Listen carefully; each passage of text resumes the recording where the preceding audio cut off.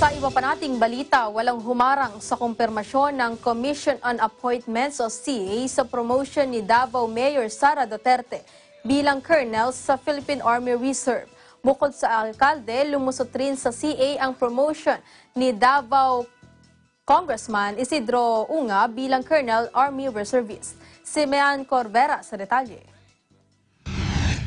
Pinagtibay ng Commission on Appointments ang promotion ni Davao Mayor Sara Duterte bilang colonel sa Philippine Army Reserve.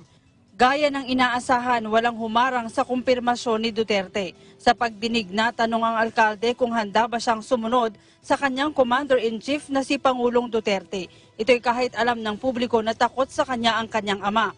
Pero giit ni Duterte bilang sundalo susundin niyang utos ng kanyang Commander-in-Chief. Sinusuportahan niya raw ang lahat ng hakbang ng kanyang ama maliban sa ginawa nitong pagtakbo bilang Pangulo ng Bansa.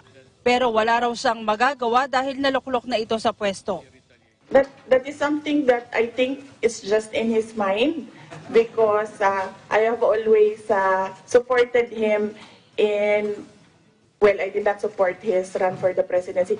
I have always supported his uh, whatever it is decisions that he has in his personal and uh, well in his uh, career decisions and uh, in, in his politics and. Uh, um, admittedly, I did not support, initially I did not support his intention to run for president, but uh, belatedly I did.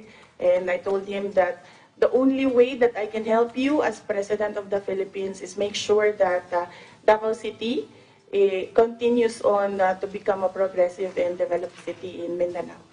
Nagpasalamat naman ang alkalde sa pagtrato sa kanya ng mga mambabatas at mabilis na paglusot sa CA. I, I just feel like a beauty queen now, not a soldier. Bukod kay Mayor Sara, lumusot rin sa CA ang promotion ni Davao Congressman Isidro Ungab bilang Colonel Army Reservist. Tumanggi itong magkomento sa tanong ni Senator Ping Lacson bakit siya napatalsik bilang chairman ng House Committee on Appropriations.